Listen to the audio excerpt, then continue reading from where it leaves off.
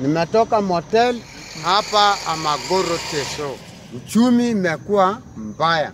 Ukiangalia barabara hii saa hii ni jua ni kali, na maji saa hii naye imekuwa shida. Sina pesa ya kuenda kwa kinyoshi, nifunje mlango ya mtu ama nifanye nini katika uchumi ya Magoro?